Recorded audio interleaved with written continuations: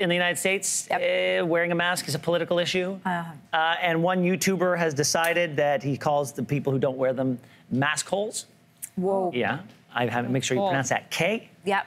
And uh, but he believes that this is an American problem that requires an American solution. And a lot of these people are very uh, anti-mask because it infringes on their rights.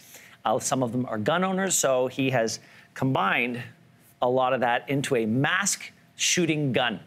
Let's take a look. Mask gun, point blank, three, two, one. Ah, whoa! oh, I got a mask on my face! Oh, I can't breathe on you now! Point blank, three, two, one. This is amazing. This, this is Allen Pan, and uh, he's so he, he, worked on this uh, for a while. He tested it out on himself. He tested it out uh, on the boardwalk by the beach where he lives. Uh, and you know, it's it's got double-sided tape on it. It's got these weights on the ends that wrap around your head, Batman style. And he, he got it to work. I personally. So is his plan to aim this at people who are being masked? I think it's. I, well, I, I, I, think his purpose is to get clicks on YouTube, and I think he's Correct. been successful at it.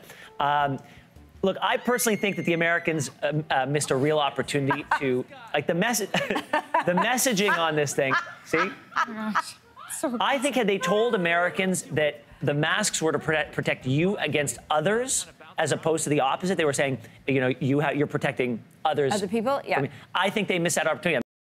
Thanks for watching. If you like this, be sure to subscribe here. And you can check out more Your Morning videos right here.